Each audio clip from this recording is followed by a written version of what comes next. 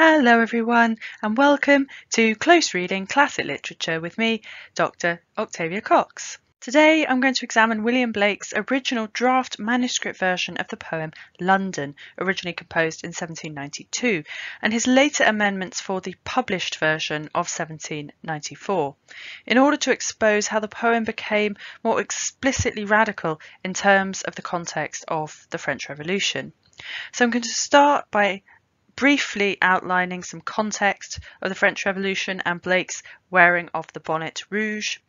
And then I'm going to move on to some close textual work comparing crucial differences between the original draft manuscript of the poem and the final published version of William Blake's poem, London. Before I forget, do please subscribe to my channel if you haven't already and do give the video a big thumbs up by pressing the like button. William Blake's poem London was first published as part of his Songs of Experience collection from 1794, and it was published in tandem with the Songs of Innocence. You can see page one there is the title page. London then is a poem of experience. And what should we take that experience to mean, particularly when it's taken as being oppositional to innocence. And that's something to keep in mind as you read through the poem and as you analyse the poem for yourselves. So the poem itself reads, I wander through each charted street, near where the charted Thames does flow, and mark in every face I meet, marks of weakness, marks of woe. In every cry of every man, in every infant's cry of fear, in every voice, in every ban, the mind-forged manacles I hear. How the chimney sweepers cry every blackening church appalls, And the hapless soldier's sigh runs in blood down palace walls. But most through midnight streets I hear How the youthful harlot's curse Blasts the newborn infant's tear, And blights with plagues the marriage hearse. I want to begin by looking at some of the contexts of the poem. For those living in Britain in the 1790s, the French Revolution, even though it happened over the Channel, was inescapable. In the early 1790s, the French Revolution was a symbol of hope for change, for overturning the status quo, which seemed to continue to enrich some elite people at the expense of many, indeed the vast majority, of others. The French Revolution symbolized and apparently championed liberty, equality, so equality, fraternity, which we might say means friendship.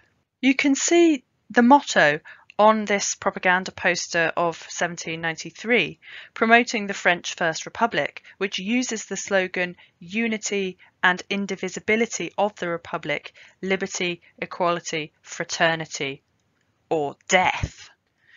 And William Blake was initially a supporter of the French Revolution before the violence and the bloodshed and the violent disillusionment that went along with it. We might think of the Reign of Terror period in particular. At the top of the 1793 poster, you can see a red cap. The red cap, or bonnet rouge, has its roots in classical antiquity and was used by Romans to symbolise freedom from tyranny the red cap was taken up symbolically by the French revolutionaries. And in the summer of 1792, when Blake was first drafting the first version of the poem London, Blake wore the bonnet rouge as he walked around the streets of London to declare publicly and indeed somewhat dangerously his open support for the French Revolution. To give you some context of William Blake's own life and his engagement with the ideals of the French Revolution, here is an extract from Alexander Gilchrist's biography of William Blake, which was first published in 1863. Gilchrist got much of his material from interviewing William Blake's surviving friends and acquaintances, so from first-hand accounts from those who knew Blake himself. And before I read this, we write remember the image within the poem runs in blood down palace walls. That's a explicitly violent image talking about blood and the palace. Blake in that line is, is skating on thin ice there. So keep that in mind then as we read through this biography. Blake was himself an ardent member of the New School, a vehement Republican and sympathiser with the Revolution, hater and contemner of kings and kingcraft. Down to his latest days, Blake always avowed himself a liberty boy, a faithful son of liberty, and would jokingly urge in self-defence that the shape of his forehead made him a Republican. To him at this date, as to ardent minds everywhere, the French Revolution was the herald of the millennium, of a new age of light and reason. He courageously donned the famous symbol of liberty and equality, the bonnet rouge, in open day, and philosophically walked the streets with the same on his head.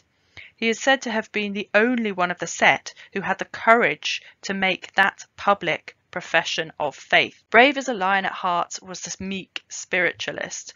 Decorous, Godwin, that's William Godwin, Thomas Holcroft, and wily Thomas Paine. So Godwin, Holcroft, and Paine were what we might now call political activists who supported the French Revolution, and we'll talk a bit more about Tom Paine later. However much they might approve paused before running the risk of a church and king mob at their heels. That is, they did not have the courage to go around wearing this symbol of support for the French Revolution openly, the Bonnet Rouge. Gilchrist's point then is that Blake publicly professed his faith in the cause of the French Revolution.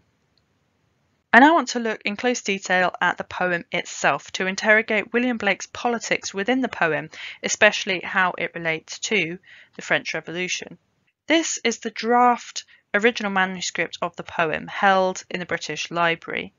It's always fascinating to see the way in which poets edit and redraft and rework their poetry. And as critics, it allows us to see the various ideas that coloured the final published version of a text. So it's always really good if you can to look at the editorial changes that an author makes to their own texts.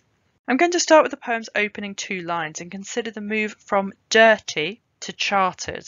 This is from the 1792 manuscript. I wander through each dirty street near where the dirty Thames does flow. And he amended that in the published version from 1794 in the Songs of Experience to I wandered through each chartered street near where the chartered Thames does flow. So in the first version of the poem, Blake describes the streets of London and the Thames as dirty. London's streets and its water were literally dirty, even filthy. And remember that this was before London had sewers and universal running water, for example, so waste management was a huge problem. Also, there was the dirt and the soot of the smoke coming from every house and building. And the word dirty, of course, also suggests moral soiling, staining, and grime, and ties into the later line's symbolic image of the blackening church. Blake had originally written blackens over the church's walls, but had crossed it out and had altered the line to every blackening church appalls. And you can see why he made that change because the word appalls focuses on the morality. There's a, a human interpretation of the degeneration corruption, and moral blackening of the church. But the original line, blackens over the church's walls, implies the covering of dirt, literally and figuratively, just as the dirt blackens over London and the Thames. Given that Blake amended the reference to the blackening church, this suggests the importance of the image within the poem, that Blake wanted to ensure that he got that imagery right. London, the poem as a whole, describes the physical as well as spiritual turmoil and suffering within the capital city. Prostitutes with sexually transmitted diseases, so we've got the harlot's curse, which is uh, syphilis, children working as chimney sweepers, and we've got the chimney sweeper's cry, and the symbolism there, of course, is the exploitation of children that literally killed them by damaging their lungs so they didn't grow properly, the blackening of childhood innocence, and symbolically, this is a very useful image for Blake. He uses the image of the child chimney sweep elsewhere in the Songs of Innocence and the Songs of Experience on page 12 in Innocence and on page 37 in Experience and compares the two figures. We've also got the dual meaning of the word cry. So we've got crying as in advertising for work, but also it conjures up images of babies and infants crying, which the chimney sweep boys were little more than. And we've got the babies born to mothers who can't look after them. All this is very much in keeping with the word dirty. But the word dirty does not have the political connotations of the word chartered. Chartering was a process of corporate ownership which accelerated in the 18th century and which effectively transferred public land and rights of way into private, self enriching hands. And it's not unlike the enclosure acts which were happening in the country at the same time. And the word chartered was laden with political implications, especially in the 1790s. For those opposed to chartering, it symbolised the taking away of natural born rights of all people in order to give them to a privileged few. Chartering was aristocratical and anti democratic, and not at all in line with the ideas espoused by those in favour of the French Revolution. Thomas Paine, who I mentioned earlier in Gilchrist's biography, The Life of William Blake, argued against charters in his infamous and revolutionary polemical text, The Rights of Man, which was very, very popular and therefore was a real worry to the state, those who wished to maintain the status quo. So in part one, in 1791, Paine declared that William the Conqueror, obviously a royal conqueror, William the Conqueror and his descendants parcelled out the country in this manner and bribed one part of it by what they called charters to hold the other parts of it the better subjected to their will. He says a bit later, every chartered town is an aristocratical monopoly in itself. So he's directly linking the taking away of rights of everybody to the royal family and the monarchical system. He then reiterated this in part two of The Rights of Man, which was published the next year, 1792, I begin with charters and corporations. It is a perversion of terms to say that a charter gives rights. It operated by a contrary effect, that of taking rights away. Rights are inherently in all the inhabitants, but charters, by annulling those rights in the majority, leave the right by exclusion in the hands of a few but charters and corporations have a more extensive evil effect. They lessen the common rights of national society. We can see expressly political connotations then of the word charter, and indeed to use such language was dangerous.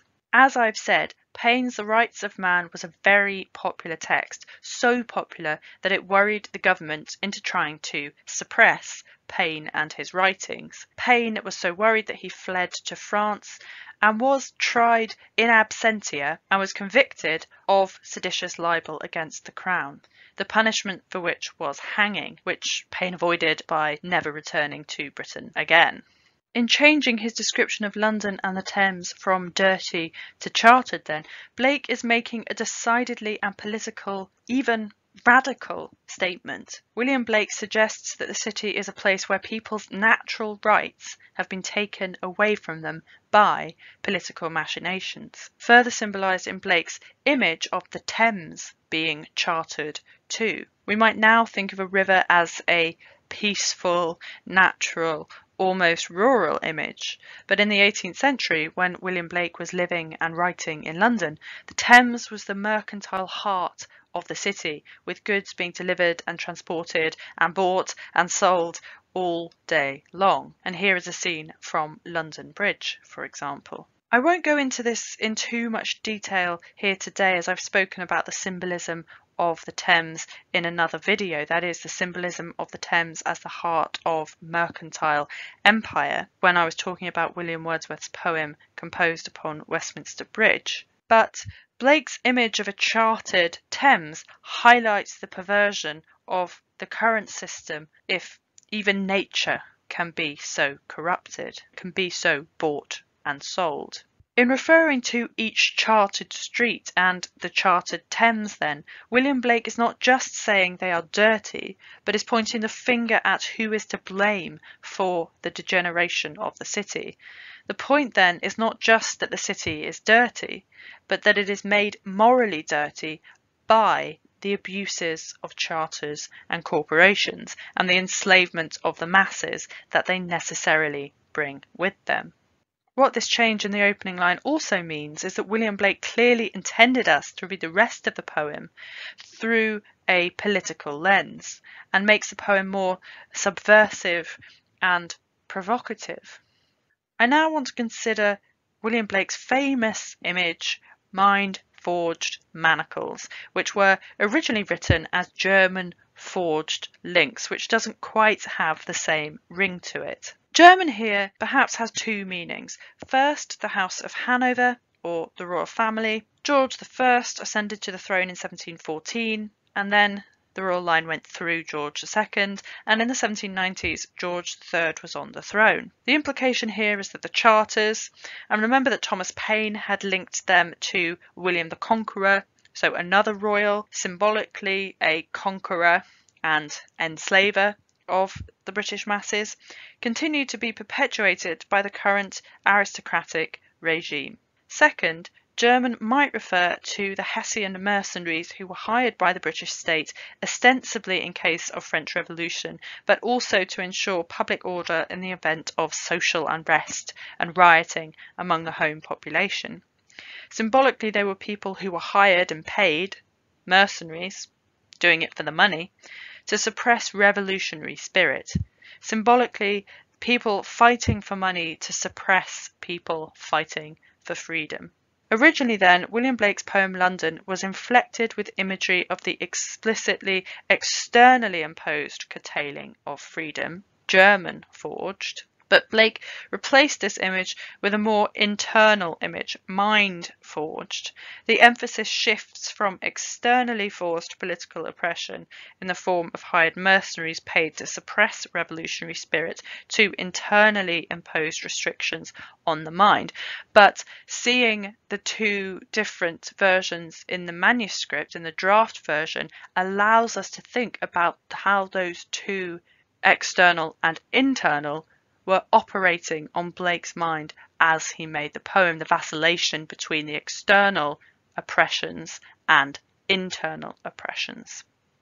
In The Social Contract, which is an important philosophical tract which was published in 1762, Jean Jacques Rousseau had opened the text with the famous line Man is born free and yet is universally in irons, more usually translated as in chains. And Blake develops this notion by articulating in Mind Forged Manacles that some of the heaviest chains are in fact those imposed by one's own mind and that releasing one's mind from the shackles of self imposed oppression is the first step to freedom. And equally, oppressing the minds of the masses is the way to maintain power for those who wish to maintain power.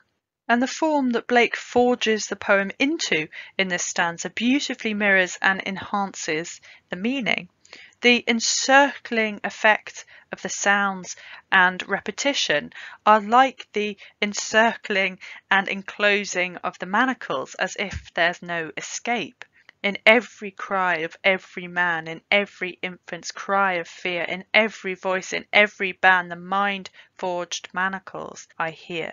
So we've got the repetition of the opening three lines in every, in every, in every but also the repetition within the lines too. So that in this short four line quatrain, you have the word every five times. It's almost as if the speaker is forging those manacles in his own mind by seeing woe and misery in every face. So the sound and the rhythm support the idea of being enclosed, being oppressed by these thoughts that the speaker is having. And really, this line works two ways. Whose are the mind forged manacles?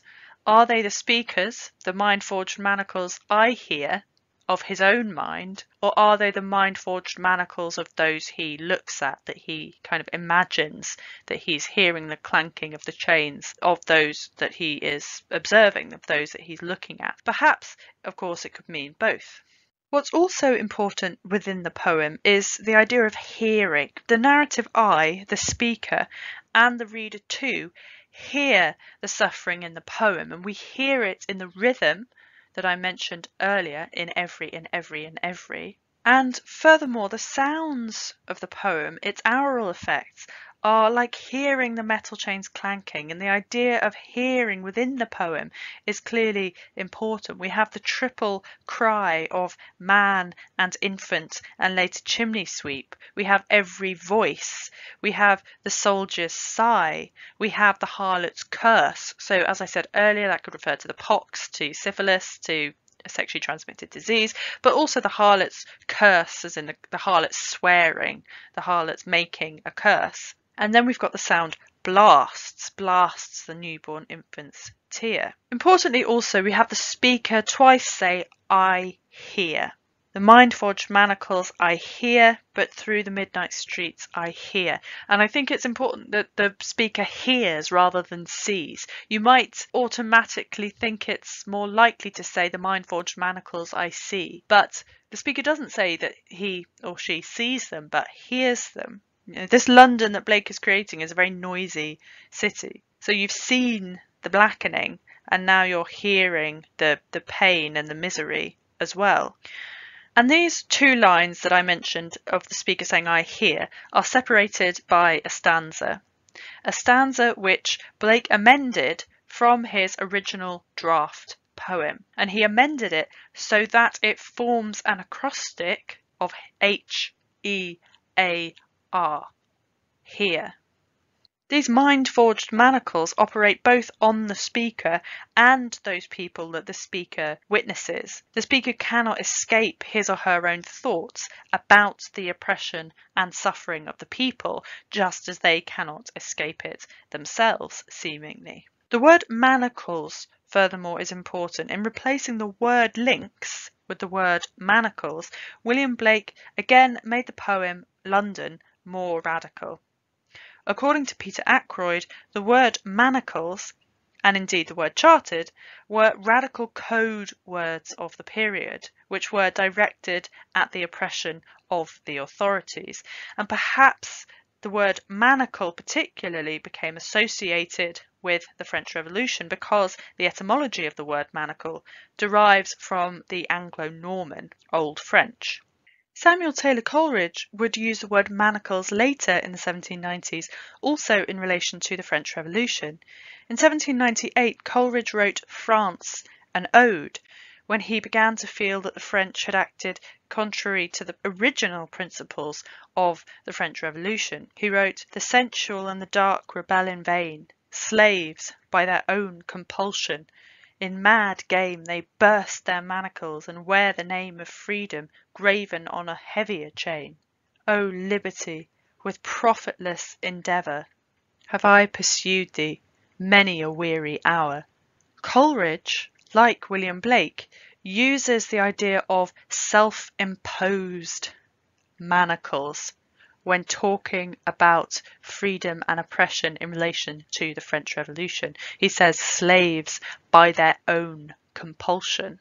Returning to William Blake's London poem, in the revised published version of the poem London, the individual and not just the state then carries responsibility, it seems, for his or her own enslavement and also concomitantly then responsibility for their own liberation too. For William Blake, people forge their own chains when they mentally accept their oppression. The word manacle has a decided political inflection which colours the meaning of the phrase mind forged manacles. Blake then is not just making a point about the power of imagination, which this phrase is often taken to support. That is, to support the theory that Blake's idea is that one should just throw off the shackles of mental oppression and unleash the creative potential and energy of the imagination. And this is often taken to speak more broadly for romanticism in general. And I'm not saying that Blake isn't saying that, but that the determinedly contextual and political elements of Blake's image should not be overlooked either. The poem as a whole,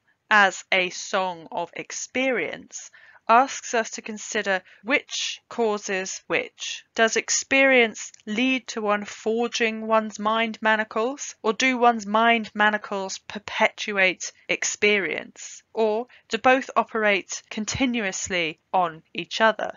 Thank you so much for listening. I really hope you found it useful to unpick some of the explicitly political contextualizations of William Blake's word choices in his fabulous poem London. If you like what I do here on my channel, then do subscribe and hit the notification bell. It means that you'll see my new weekly videos when they're uploaded. And let me know if you've liked the video by giving it a big thumbs up. And do carry on the conversation in the comments below. I'd love to hear your thoughts on Blake's marvellous and expressly political poem.